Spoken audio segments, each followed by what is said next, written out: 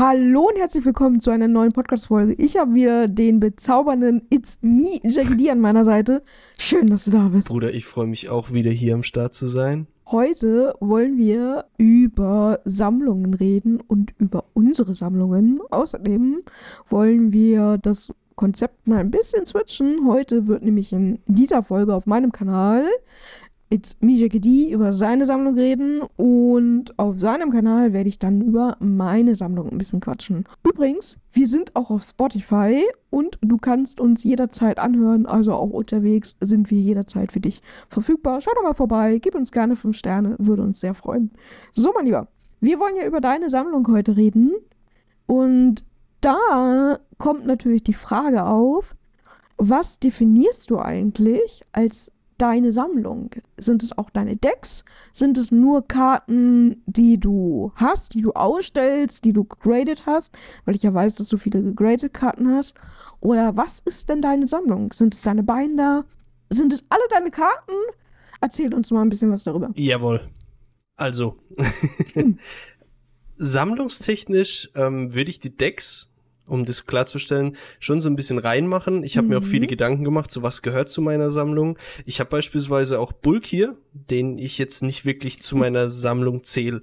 Also Sammlungen sind für mich, also rein individuell quasi definiert, die Sachen, zu denen ich auch einen wichtigen Bezug habe und die mir wichtig sind, die ich vielleicht auch, ist das nochmal ein Faktor, gezielt gekauft habe wie eben meine Decors, ähm, dann die Sachen für den Archetype Binder und und und, aber nicht eben so diesen Bullgraben, wo du 20 Ultra Rares irgendwie in einem Booster wegkriegst, die du dann alle zehnmal hier rumliegen hast. Also das ist äh, für mich nicht so ein wirklicher Teil von der Sammlung.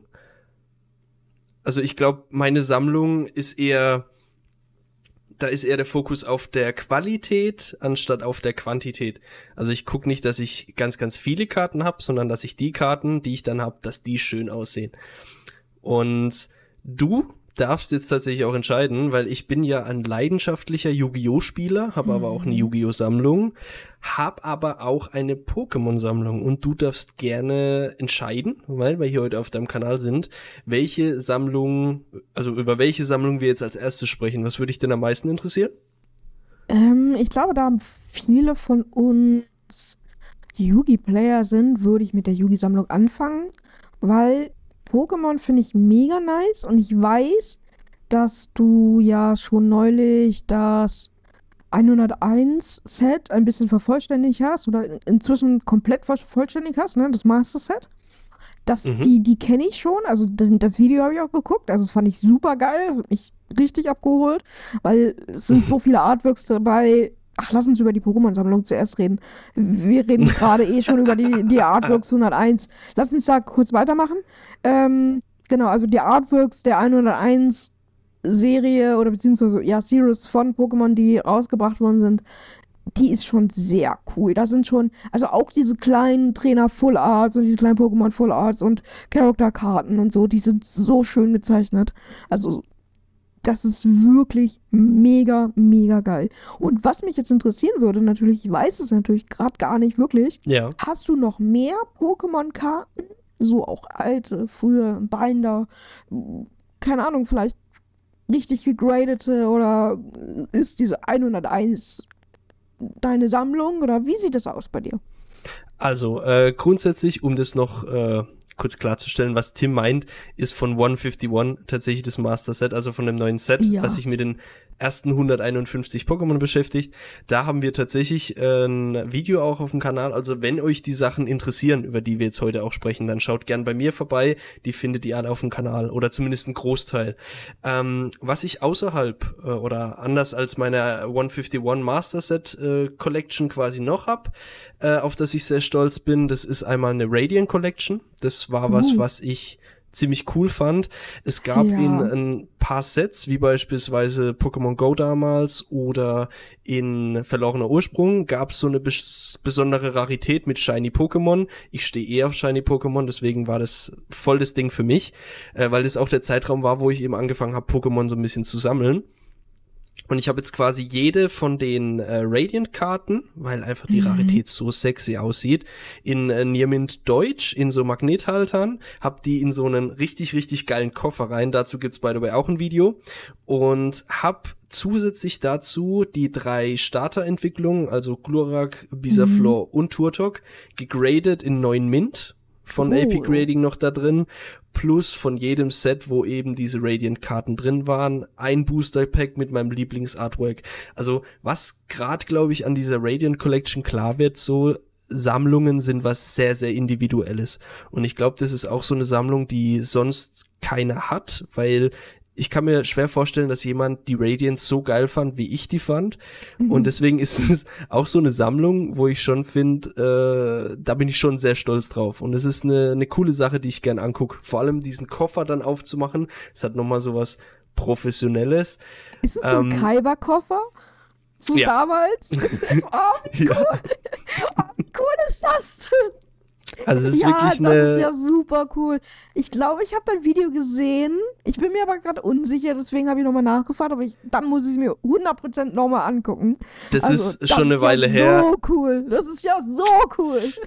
Da war, le war leider die Cam-Quali noch nicht so geil, wie sie jetzt ist. Äh, vielleicht kommt irgendwann auch ein Update. Also ich habe tatsächlich Ja. auch vor, nochmal so ein Video zu meiner kompletten Pokémon und zu meiner kompletten Yugi äh, Collection quasi zu Sammlung. machen. Mhm. Einfach, dass alles nochmal zusammen ist.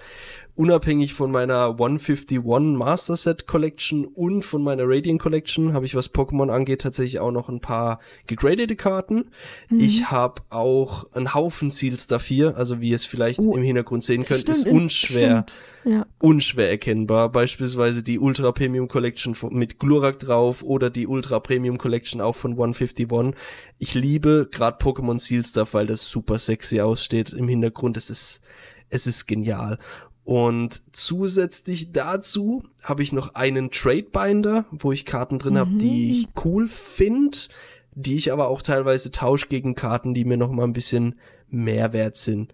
Und abschließend habe ich tatsächlich auch, ähm, es ist jetzt mittlerweile so ein Running Gag geworden, aber ich habe tatsächlich Karten während dem Umzug, weil ich bin jetzt ins neue Haus gezogen Mhm. im Juli, habe ich meine alten Karten gefunden, meine Vintage-Karten und habe da wirklich einen, einen Haufen Kram. Es sind noch ein paar Holos dabei, die Zustände sind nicht gut, muss man leider ehrlich sagen. Da habe ich auch letztens sogar schon ein Video dazu gemacht, zu den Vintage-Karten, zu den schönsten.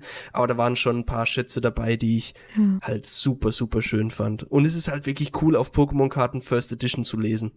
Oh ja, oh ja, wenn man auf Pokémon-Karten First Edition liest und dann noch ein glitzerndes Bild hat, kling, kling, dann klingelt die Kasse. Zumindest kommen dann die, die Dollaraugen mal ganz schnell hervor. Also, ähm, und wenn dann Ist noch Oldschool draufsteht, ne? Wenn dann noch Oldschool ist, also Vintage-Karten, First Edition, Glitzer, das ist so, mm, mm, das ist Es so ist halt schon Besonderes. faszinierend.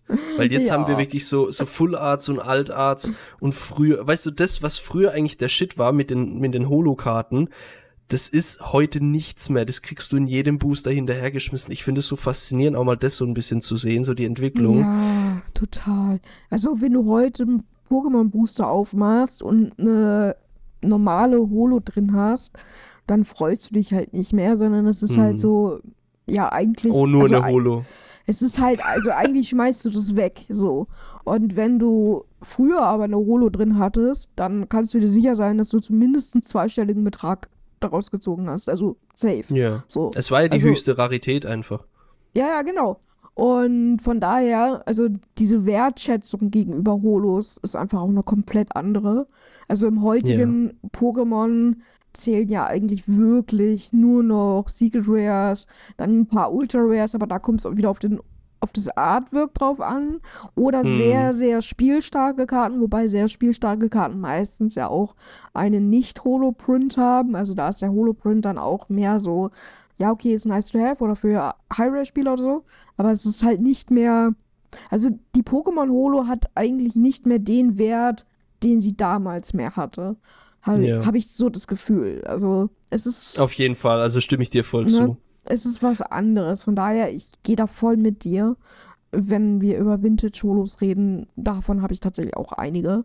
Aber da können wir später drauf eingehen. Da kommen wir dann sehr, sehr gerne in meiner Folge noch drauf da zu sprechen. Da kommen wir in deiner Folge drauf zu sprechen, genau. Also abschließend noch zu meiner Pokémon-Sammlung tatsächlich.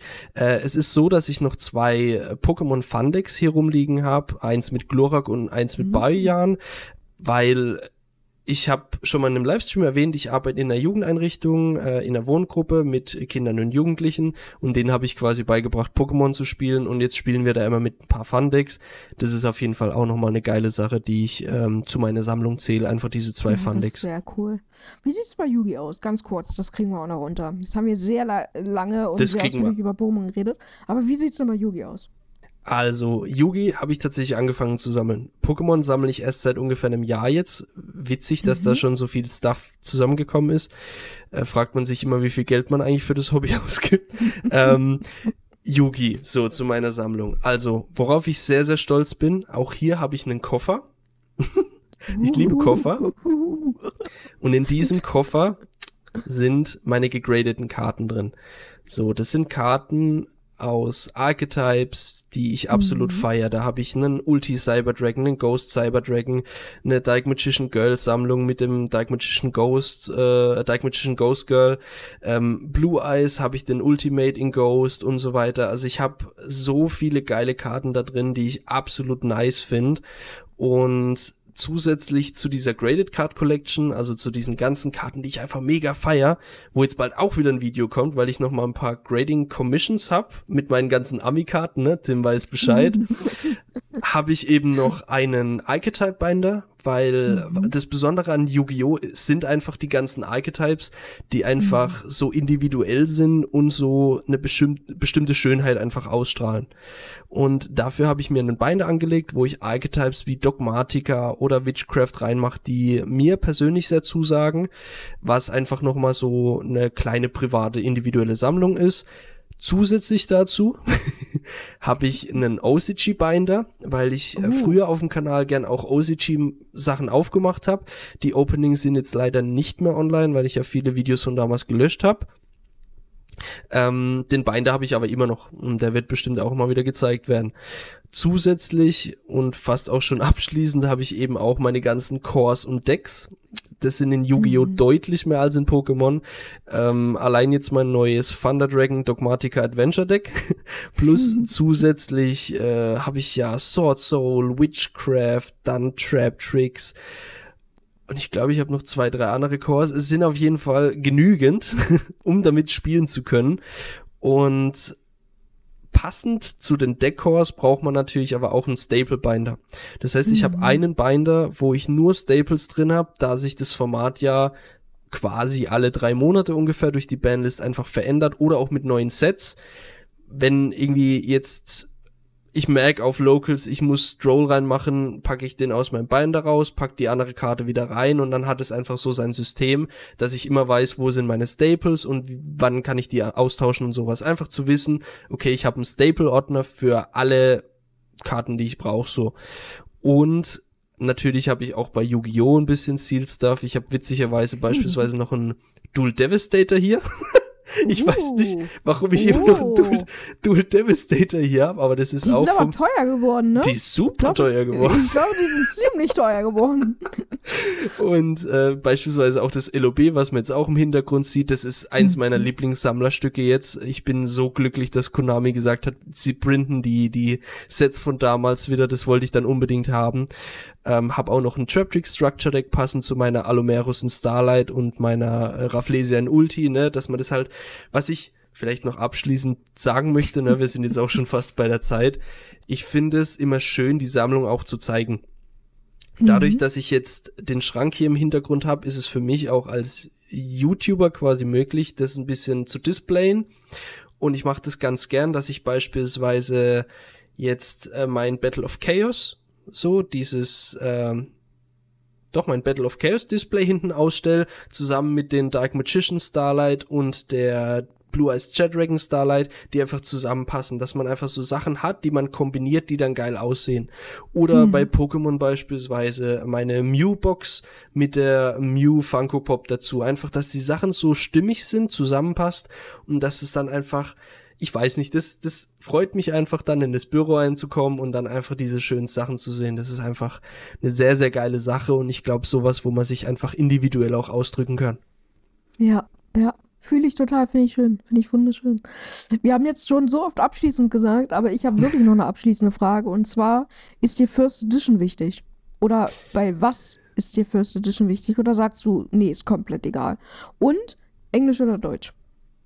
Das ist eine gute Frage.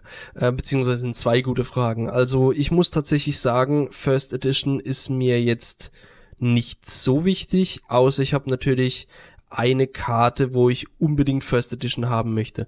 Was ich vielleicht mhm. noch dazu sagen muss, weil beim Thema gegradete Karten kommt es immer auf, so möchtest du quasi Plus damit machen oder möchtest du die dann wieder verkaufen, möchtest du einen besseren Wert rausholen. Nein, also bei mir, meiner Sammlung ist es tatsächlich so, mir ist es wichtig, ähm, ich stelle die Karten einfach gern aus und da wäre es gut, wenn die Karten auch gegradet sind, dass sie auch UV-geschützt sind beispielsweise, ist ja nur eine, einer der Faktoren. Es sieht halt auch mega geil aus, wenn die Karte gegradet ist. Also mir geht's auch nicht darum, quasi mehr Geld aus der Karte rauszuschlagen, sondern einfach nur eine geile, schöne Sammlung für mich persönlich zu haben. Wenn ich die Karten irgendwann verkaufen kann, dann ist es natürlich eine gute Sache. Ähm, aber deswegen First Edition ist mir grundsätzlich erstmal egal, außer es ist natürlich wirklich ein Sammlerstück, wo ich sage, okay, da muss es jetzt First Edition sein. Aber es ist nicht irgendwie jetzt ein extremer Ausschlagspunkt oder ein extremer Faktor, der eben wichtig ist. Und zu der Frage Deutsch oder Englisch, ich habe jetzt viel Deutsch gesammelt. Ähm, mhm. Muss aber auch sagen, dadurch, dass die American Cards jetzt beispielsweise, da sind wir jetzt auch drauf gekommen, dass die einfach für mich deutlich schöner aussehen, habe ich jetzt mhm. auch einen Teil englische Karten, obviously, weil ich jetzt das erste Mal auch amerikanische Karten einfach zum Graden schick und ich werde auch in Zukunft ähm, öfters mal American Cards, die ich dann meiner Sammlung zufüge, bestellen. Das heißt, da war es mir relativ egal, aber wenn es jetzt eine Karte ist, wo ich weiß, die sieht in American beispielsweise deutlich schöner aus, werde ich lieber das Doppelte an Geld irgendwie in die Hand nehmen, je nachdem, was es für ein Preis ist, um mir die American zu holen und die dann graden zu lassen. Weil gerade, wie gesagt, bei der Rarity Collection, die, die Printqualität war wirklich unterirdisch bei den deutschen Sachen, mhm. zumindest das, was ich gesehen habe. Ne? Ich kann jetzt nicht für alles sprechen, es gab auch viele mit positiven Erfahrungen, aber die amerikanischen, die ich jetzt bestellt habe und die deutschen, die ich gezogen habe, die sind, das sind wirklich absolut unterschiedliche Welten, ist wirklich crazy. Deswegen bestelle ich lieber mal ein paar American Cards und habe dann die englischen, die vielleicht auch noch geiler aussehen für mich und habe die dann in der Sammlung. Ja, sehr schön.